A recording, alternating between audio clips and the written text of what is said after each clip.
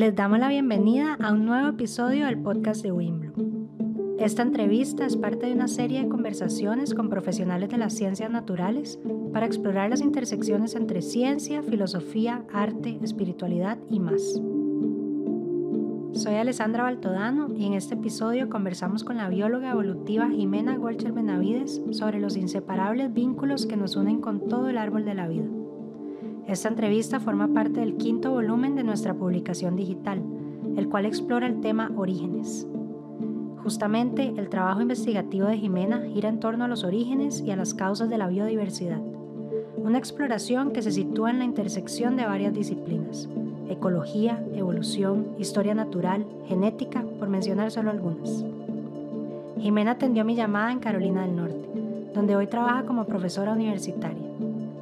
Conversamos sobre la evolución como un proceso continuo que nos relaciona con todas las especies e incluso la materia, sobre perspectivas que sitúan con más humildad al ser humano en la historia de la vida y sobre la inacabable fuente de celebración que es nuestro planeta Tierra. Usualmente una pregunta con la que me gusta comenzar es sobre los orígenes personales. Entonces, si nos vamos a tu infancia, a ese encuentro más temprano con el mundo, ¿cuáles son las experiencias que consideras que moldearon tu relación con el planeta? ¿O qué cosas influyeron tu forma de entender la realidad y relacionarte con el mundo vivo? Recuerdo de estar fascinada leyendo las enciclopedias eh, que habían en mi casa, como los, los diferentes volúmenes y viendo todas las fotos y, y esa curiosidad que me daba, no sé, voltear la página y encontrar un tema totalmente distinto.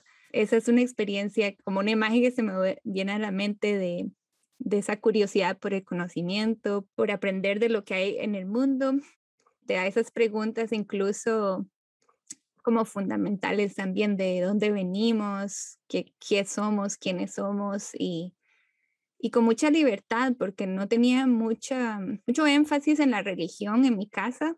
Entonces, creo que desde temprano mi hermano mayor y yo tuvimos esa libertad de, de explorar un poco esas preguntas fundamentales sin tener mucha idea de, qué, de cuál es la respuesta. Claro, sin una respuesta predeterminada, como poder explorar en sus propios términos.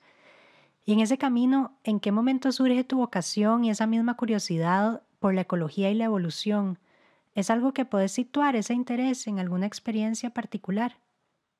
Fue más cerca de, de la decisión de, de entrar a la universidad y de estudiar una carrera en donde había empezado a sentir ya más atracción por, por entender lo que es la naturaleza, entender la vida, ¿verdad? las reglas de la vida que parecían como algo tan, tan desconocido. Y fue ya estando, llevando los primeros cursos que yo dije, sí estoy realmente en el lugar correcto. Para estudiar la diversidad de la vida desde un enfoque evolutivo, Jimena se ha concentrado en la investigación de un grupo muy particular de peces de agua dulce llamados cíclidos.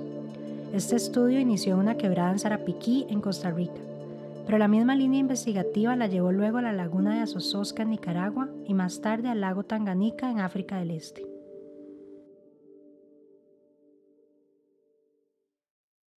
¿Qué es lo que te dan estos peces? Son como una puerta, ¿verdad? la pregunta es más grande que los peces, tiene que ver con el origen de la diversidad de la vida, pero ¿qué es lo que hace a estos peces tan particulares para hacer esa pregunta?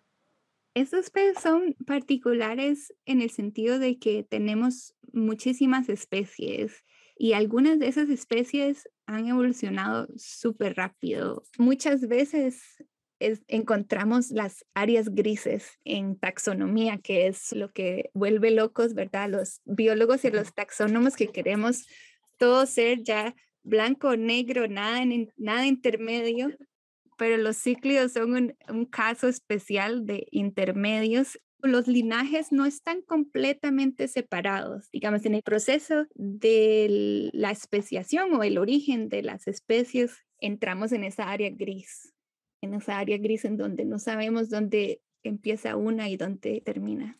Mm, como que empiezan a desafiar las categorías en las que podrías usualmente meter a cada especie. Exacto, sí, porque ese es el proceso en sí que está ocurriendo En biología evolutiva nos enfocamos mucho en ese principio de la especiación, en esa primera etapa de la especiación, pero no tanto en, en esa permanencia de las especies, que quizás es más el enfoque ecológico, ¿verdad? la persona que estudia la ecología sí estudia un poco los requerimientos, las necesidades, los, las diferentes fuerzas, los diferentes procesos que, que mantienen distintas poblaciones. Y empieza a ser interesante porque hay, como decías vos ahora, es difícil entender por dónde empezar, ¿verdad? Porque es como que las condiciones del paisaje o el mundo físico en el que están los organismos, pues sí, condicionan lo que esos organismos pueden o no pueden hacer, pero a la misma vez la forma de ser y habitar el mundo de esos organismos y las relaciones que entablan impacta al mundo físico a su vez, cambia esas condiciones materiales. Entonces como que hay una continuidad ahí que junta influye la evolución de la vida. Sí, me encanta ese, esa idea de la continuidad también, porque sí, a veces desde la perspectiva de la genética tendemos a pensar como, ah, sí, todo eh, empieza con el ADN y los ácidos nucleicos y entonces de ahí determinamos el curso de todo hasta el proceso, eh, ¿verdad? De, la formación de todas las estructuras y la diversidad. Pero entre más estudio la biología, está como más estos mecanismos que van hacia ambos lados. el rol del ambiente, ya sea interno o externo, y cómo eso lleva a la permanencia o no de, ciertos, de ciertas secuencias de ADN y a veces no solamente eso, sino de los cambios que organismos en sí o especies forman y el impacto que tienen en, en su ambiente y cómo eso cambia la trayectoria y las secuencias de genes de otros organismos, como decís, pues entonces me gusta mucho esa continuidad, esa área gris en lugar de, de un, un inicio y un fin. Y nos devuelve un poco a esto que venimos hablando de las continuidades, esas áreas grises que hay entre la vida y la materia, y que está relacionado a la pregunta que sigue siendo el gran misterio, ¿verdad? Que es justamente esa relación, porque como entendemos la evolución hoy, la vida es una propiedad emergente de la materia. Sí, uy, esa, eso es algo que, bueno, hasta me da un poco de vacío, ¿verdad? También la, es, es como esa sensación de, de que no tenemos una respuesta fácil o una respuesta evidente a algo tan fundamental, ¿verdad? En la biología, que no hay un, un comienzo muy claro y un fin muy claro, sino que es una continuidad, ¿verdad? Desde de la vida, desde los ácidos nucleicos interactuando en esas, eh, en, en esas zonas de, de actividad geotérmica y eventualmente las primeras células y eventualmente los organismos multicelulares, ¿verdad? O pensar en los fenómenos atmosféricos como los, tornados, los huracanes, ¿verdad? Incluso un fuego, ¿verdad? El metabolismo del fuego. Entonces, esas, esas propiedades de la vida que, vemos en, en, en la materia también son, son sitios en donde estamos obligados a examinar nuestras definiciones y nuestras y dónde separamos las cosas, ¿verdad? ¿Dónde comienza una, dónde termina? Ajá, ajá, como que empiezan a disolverse mucho esas líneas tan definidas con las que queríamos encajar cada cosa en su lugar, separada de la otra. Y empezamos a entender que, que no es tan fácil, no es tan fácil separar una cosa de la otra. Sí, y al mismo tiempo, ¿verdad? Como tal vez trae esa nueva liberación creativa, esa liberación de qué bonito que es, o qué increíblemente sorprendente que es todo, ¿verdad? Y que ni siquiera pudimos imaginarnos algo que fuera correcto acerca de lo que realmente es, ¿verdad? A primeras tuvimos que equivocarnos y, y, y darnos cuenta que no es así, que no es blanco y negro para, para revelar la belleza de esta complejidad. Y creo que ese es uno de los principios más lindos de la ciencia, esa capacidad de decir, estábamos equivocados y hay que volver a empezar, hay, que explorarlo diferente, de otra manera. Y, la evolución sin duda no ha estado exenta de sus explicaciones erróneas y creo que muchos de esos mitos, al menos en el conocimiento popular, se mantienen, hay muchos mitos de la evolución que, incluso nos han llevado a una interpretación o a un entendimiento del ser humano como la cúspide, ¿verdad?, de la evolución. Em, nos situaron como por encima del resto del mundo vivo, eh, incluso han influenciado la forma en la que como sociedad nos organizamos. Entonces sí, hay, hay ideas muy enraizadas en nuestra comprensión popular de la evolución. Em, y tal vez vos podrías ayudarnos a desmitificar algunos aspectos de la evolución que, que lleva a estas interpretaciones erróneas. Claro, claro que sí. Y es muy importante, exacto, mantener la visión de la evolución como un proceso que sigue ocurriendo, ¿verdad? Y que va, va a seguir ocurriendo. El proceso no se detiene, pero incluso los seres humanos, ¿verdad? Nosotros también seguimos siendo parte, no somos nada diferente a cualquier otro organismo. Digamos, el ser humano está jugando las mismas reglas del juego, ¿verdad? Y es realmente comprender cómo el contexto es el que define el éxito evolutivo. Y como los contextos son cambiantes, los ambientes son cambiantes, lo que es exitoso en un ambiente puede no ser exitoso en otro. Entonces no hay, un, no hay una talla que le cabe a todos, sino que sino que lo que sirve en un contexto no sirve en otro. Pensemos en, en el desarrollo de un sistema nervioso tan, tan complejo como, como lo que tenemos nosotros.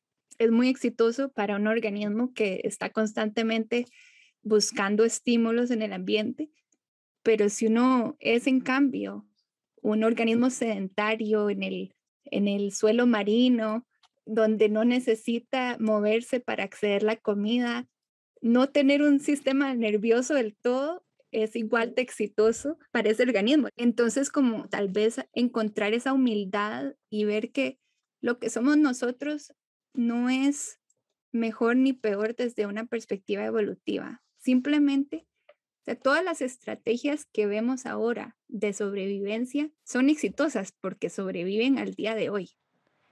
Esta idea ¿verdad? De que todas las especies que podemos ver hoy son exitosas porque están aquí. Entonces, no es esta otra idea de que hay especies que hoy están con nosotros que son más primitivas, como quien dice que detuvieron la evolución y que nosotros continuamos evolucionando, sino que todas las especies que tenemos a nuestro alrededor continúan en ese proceso, siguen explorando cuáles son las mejores formas de ser y estar en su determinado contexto. Exacto, y me encanta también porque es esa, esa imagen del árbol de la vida que, tienes, que tiene ramas muy, muy profundas, ¿verdad? Todos esos, esos linajes evolutivos se pueden buscar a la, la época de, de, la explosión cámbrica, ¿verdad? Estamos hablando de hace miles de millones de años. Entonces, no es como que nosotros, el linaje que va a dar a, a los vertebrados es algo súper reciente, ¿no? Es algo que al igual que en los otros grupos, tiene una, una historia evolutiva bastante antigua, ¿verdad? Y que nos mete también, como hablabas antes, en esas concepciones del tiempo que a veces exceden nuestra capacidad, pero, pero tal vez sirve pensarlo como eso, que no es solo un proceso que estaba pasando hace miles de millones de años, estamos inmersos en ese proceso aún hoy. Exacto, sí, son, procesos que siguen pasando. Y también otra idea que mencionaste es esta idea de la competencia, ¿verdad? Que la competencia es también contextual, ¿verdad? Muchas veces si hay abundancia de recursos y si hay presiones que están más relajadas en ciertos momentos cruciales, entonces no hay ese rol tan importante de la competencia, sino que se, se permiten otro tipo de interacciones y se permite el mantenimiento de la variabilidad, ¿verdad? Porque si relajamos la competencia, hay más campo para que distintas versiones de distintos rasgos se mantengan entonces, como no siempre es esa competencia sostenida que nos imaginamos que es el proceso de la selección natural, sino que hay mucho más campo para, para otro tipo de interacciones, como todo eso ha llevado a una diversidad increíble de, de estructuras y de formas también.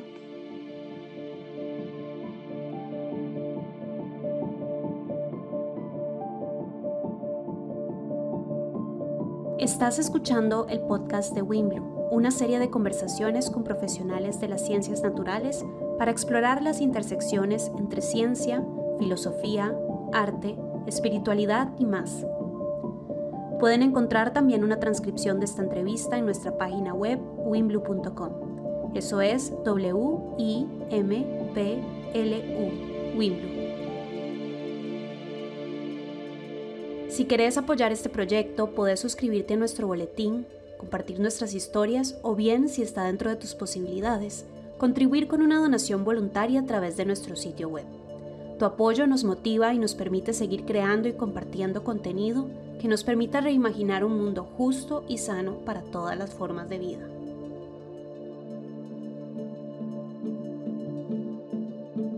Nuestra invitada de hoy es la bióloga evolutiva Jimena Golcher Benavides. Con ella conversamos sobre el proceso continuo que es la evolución y sobre nuestra relación con el resto de linajes con los que compartimos la experiencia de ser vida en el planeta Tierra.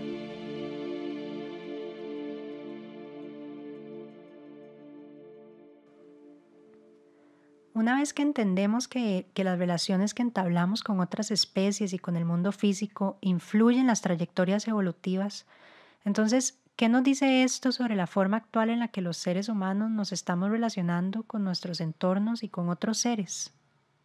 tenemos como especie una contribución bastante desproporcionada al ambiente, ¿verdad? Y estamos jugando un rol en ese sentido tal vez de, de nueva fuerza evolutiva, ¿verdad? De fuerza selectiva, porque existen especies que, que afectan la trayectoria evolutiva de otras, pero nosotros los seres humanos estamos formando una, una fuerza selectiva bastante fuerte con nuestras actividades, ¿verdad? Tenemos como una, una actitud excluyente en donde solamente nosotros podemos sobrevivir en el ambiente humano, en el ambiente urbano y terminamos excluyendo muchísima, muchísima diversidad de los ambientes en donde interactuamos y eso nos afecta, ¿verdad? Nos afecta de no solamente desde un sentido pues filosófico porque nos duele la pérdida y la extinción, pero también a un nivel de sobrevivencia como especie humana, ¿verdad? Porque muchas de esas interrelaciones proveen resiliencia a las fuerzas em, físicas, ¿verdad? Que, que afectan a todos los seres vivos. Entonces sí, como ese cambio de, de perspectiva de, de pensar en que nuestro rol está está muy enfocado en la exclusión, en la competición y cómo nuestra ceguera a otras formas de vida está llevando a formar unos ambientes de selección artificial, unos ambientes selectivos que terminan siendo cosas que ni siquiera estábamos deseando tener, ¿verdad? Pero que de manera inconsciente llevamos a eso, ¿verdad? Pensamos en los organismos que terminan teniendo éxito en las ciudades, son organismos que consideramos pestes, pero nosotros le dimos las condiciones perfectas para esos organismos para sobrevivir exitosamente en esos lugares. Quisiera como hacer énfasis en esta idea que acabas de hacer, que llamamos pestes o invasivas a las especies a las que les hemos creado todas las condiciones para sobrevivir. Entonces, esta idea no quisiera dejarla pasar por alto porque entender que tenemos esa capacidad de crear o no las condiciones para que ciertas especies puedan evolucionar y otras no, me parece súper importante subrayar. Ahora, podemos hacer la pregunta al revés, ¿verdad? ¿Cómo un mejor entendimiento de la evolución nos puede ayudar a relacionarnos mejor con el mundo y con el resto de la vida? ¿Cómo puede la evolución informarnos para crear mejores condiciones para la vida y su diversidad? Sí, exacto. En ese sentido, tenemos que tomar una pastilla de humildad y darnos cuenta de que estamos compartiendo eh, la existencia con un montón de linajes y de trayectorias evolutivas y tal vez darnos cuenta que nuestra posición en este momento de estar destruyendo o cortando esas, esas ramas del árbol de la vida a diestra y siniestra sin darnos cuenta de que estamos haciendo eso, nos está llevando a un futuro un poco incierto y bastante problemático también, ¿verdad? Porque, porque perdemos conocimiento con la pérdida de, de cada cada rama que cortamos del árbol de la vida y, y posibles soluciones a problemas que tenemos ahora que no hemos ni siquiera explorado. Entonces, sí, yo diría que empezando por reposicionar al ser humano con un, poquito más de humildad, sería el primer paso. Y luego entender exacto esos mecanismos evolutivos, como promover tal vez procesos de, diversificación, ¿verdad? Promover eh, las fuerzas que entendemos ahora tal vez son cruciales para, para el origen y la, y la diversificación y el aumento de la diversidad, no la reducción de la diversidad. Y creo que pasa no solo por una cuestión biológica, pero es también otro asunto, que es que la diversidad enriquece nuestra experiencia de estar en el mundo, ¿cierto? Vos antes mencionabas algo interesante y es que como seres humanos evolucionamos un sistema nervioso muy complejo. Estamos siempre en busca de muchos estímulos. Entonces, nuestra misma experiencia como organismos humanos en el planeta se empobrece de cierta manera con esa falta de estímulos, con esa falta de diversidad. Sí, e, es, algo bastante interesante y me, me, hace un poco pensar, no sé si estaría muy jalado del techo, pero pensando como en la ciencia ficción, ¿verdad? Y cómo a veces nos imaginamos esos futuros en donde podemos hacer una simulación de lo que es la realidad y vivir eternamente en esas simulaciones. Siento que esas simulaciones nunca van a llegar a mantener la complejidad que tenemos ahora, ¿verdad? Que es una riqueza increíble. Y como vos decís, la erosión de esa riqueza nos lleva a, tener realidades o imaginarnos la realidad de una manera muy restringida, porque perdemos, ¿verdad? La, realidad es millones de veces más increíble que cualquier simulación que nos podemos imaginar. Bueno, tal vez es que le estoy dando menos crédito a los programadores, pero Pero es que, exacto, todos los momentos, todas las, las condiciones fortuitas, la complejidad entre relaciones, tanto conocimiento infinito que puede ser revelado en, al examinar realmente, ¿verdad? La historia natural y, y, realmente poner atención a lo que podemos aprender, lo que nos dicen las otras especies, ¿verdad?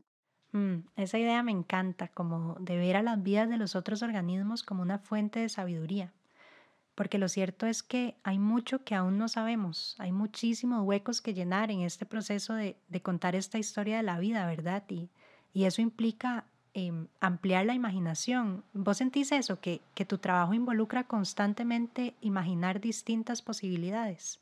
Sí, por supuesto. Y yo creo que es como el motor principal, como parte del proceso de, de investigación científica. Estamos constantemente expuestos a, llevar nuestra mente a puntos donde no, no habríamos pensado simplemente para poder poner a prueba nuestras preguntas, ¿verdad? Es mantenernos en este nivel de, de escepticismo o de, es como ignorancia informada, porque si estamos creciendo y aprendiendo aprendiendo más y aprendiendo de manera acumulativa, pero sí manteniendo esa apertura mental, ¿verdad? Y tratar de lidiar con nuestros prejuicios y preconcepciones que a veces más bien restringen lo que esperamos encontrar como resultado de una pregunta.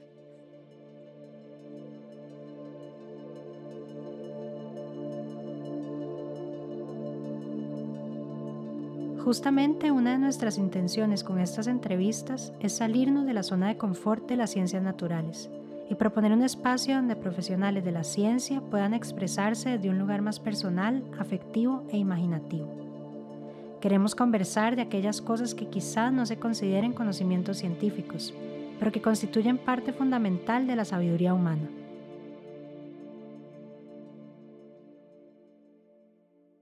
En muchos casos se ha considerado que la historia que nos vino a contar la teoría de la evolución o las teorías de la evolución son contrarias a un sentido de espiritualidad y trascendencia. Eh, en algún lado leía incluso que, que fue lo que detuvo a Darwin por muchos años de publicar sus hallazgos, porque sentía que iba en contra de todo lo que a él le decía la religión. Pero mi experiencia más bien es que para muchas personas en el ámbito de la ciencia, la historia de la evolución es, es una fuente de reverencia hacia la creatividad y el misterio de la vida. Em, entonces me pregunto, vos, vos que estás inmersa en este estudio de la evolución, ¿cómo experimentas este sentido de espiritualidad y de reverencia? ¿Son términos que tienen cabida en tu entendimiento de cómo se ha originado la vida? Sí, creo que es algo que no pienso constantemente, pero sí es algo que es parte de la vida, ¿verdad? Ha sido parte también de mi búsqueda de, de quién soy yo, de que, cuál es mi posición en este mundo. Y siento que en ese sentido la respuesta de cómo entendemos la vida y, y los procesos evolutivos es como parte de un proceso maravilloso, ¿verdad? De un proceso lleno de, de, de posibilidad de curiosidad ilimitada, ¿verdad? De, de admiración de, la, de las estrategias de sobrevivencia. No es la búsqueda del más allá de lo, de los, de lo surreal o de lo, lo, que, lo que no entendemos, sino es lo que está aquí, ¿verdad? Lo tangible y comprender que no es nada trivial, que es algo realmente ilimitado para cuando uno se quiere detener a explorarlo, ¿verdad? Y entonces sí, creo que en ese sentido viene con esa celebración, con ese sentimiento de, celebración de la realidad. No, no estamos rechazando, no estamos negando lo que es, sino más bien estamos sintiéndonos y, experimentando, ¿verdad? Y, y, aprendiendo, interactuando con nuestra realidad y, disfrutando cada minuto, ¿verdad? De, nuestros, de nuestro conjunto de infinitudes que nos hacen un individuo.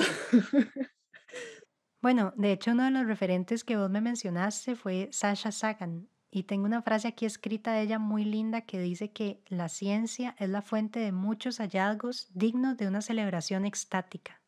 No sé si vos te identificás con esa frase. Ah, sí, por supuesto que sí. Es que sí, realmente, al igual que llevamos momentos muy difíciles en la vida, ¿verdad? Le dan ese sentido, ¿verdad? A, a los momentos alegres, los momentos de celebración y, la ciencia, como cualquier otra experiencia, también tiene esos dos lados, ¿verdad? Y siento que, que me emociona muchísimo cuando, cuando escucho algo que, que totalmente cambia nuestra manera de entender y celebrar realmente esos eurecas es súper importante. Y siento que la, la celebración ha sido parte de la espiritualidad.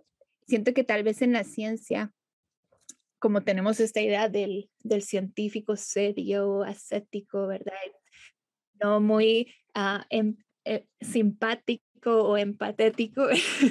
entonces, entonces, como que cambiar esa idea de lo que es el científico y tal vez abrazar es, esa parte emocional del proceso científico también, porque, porque si no es muy difícil, ¿verdad? Mantener esa mente abierta, mantener esa humanidad que, que necesitamos también para continuar la búsqueda de respuestas. Y escuchándote, me voy al inicio de nuestra conversación de que tal vez no estás tan lejos de, de aquella niña pasando las páginas de la enciclopedia. ¿Qué, ¿Qué, crees que te ha dado la evolución con respecto a esa niña que pasaba las páginas con curiosidad? Claro, eh, hay una frase famosa por, por Teodosius Dobzhansky, ¿verdad? Que dice que nada en la biología tiene sentido excepto a la luz de la evolución, ¿verdad? Y comparto ese espíritu, ¿verdad? Que realmente comprender el proceso evolutivo reveló reglas del juego, reveló eh, procesos en la realidad que tal vez en el momento eran incomprensibles y que mi niña interna, ¿verdad? Que yo imaginaba preguntando cosas, ¿verdad? Que nadie tenía respuestas y, y recibir esas respuestas en algún momento. No sé, yo pensaba que que eran cosas que nunca, nunca iba a responder en, en mi cabeza, ¿verdad? Y, y, estudiar la biología y encontrar tantas respuestas que le dieron un nuevo sentido a, a todas las cosas, ¿verdad? Y la, y la, manera en que experimento el planeta y que, que percibo el planeta. Entonces, sí, comparto esa visión con brilla de la evolución, ¿verdad? Que le da que le da sentido a un sinfín de cosas. El proceso de descubrimiento para mí misma ha sido bastante, bastante enriquecedor y le ha traído muchísimo a mi vida. no sé si eso suena.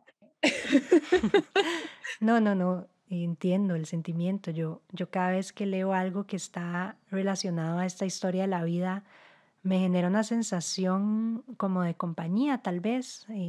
o sea, como de entender la cantidad de relaciones en las que estamos inmersas e inmersos, de entender el mundo como una cosa que está en proceso todo el tiempo.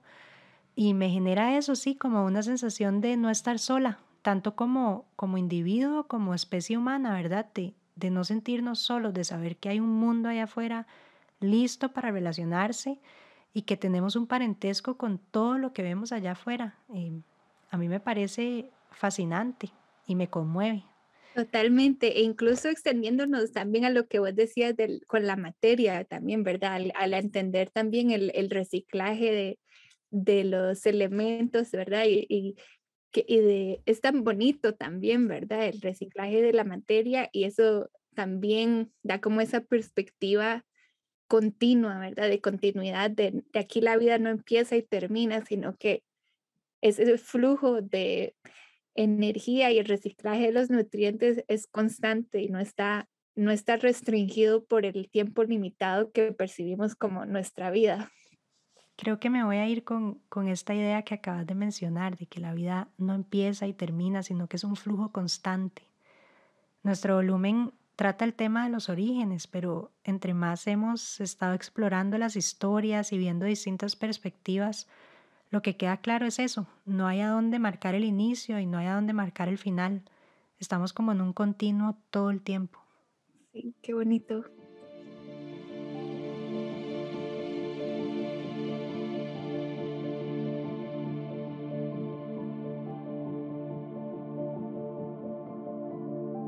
Muchas gracias por escucharnos.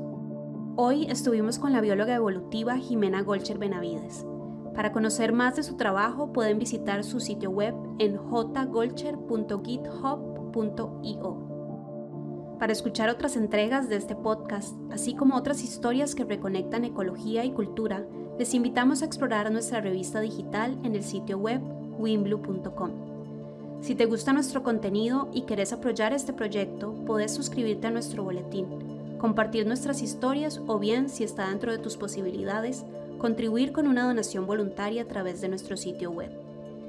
Tu apoyo nos motiva y nos permite seguir creando y compartiendo contenido que nos permita reimaginar un mundo justo y sano para todas las formas de vida.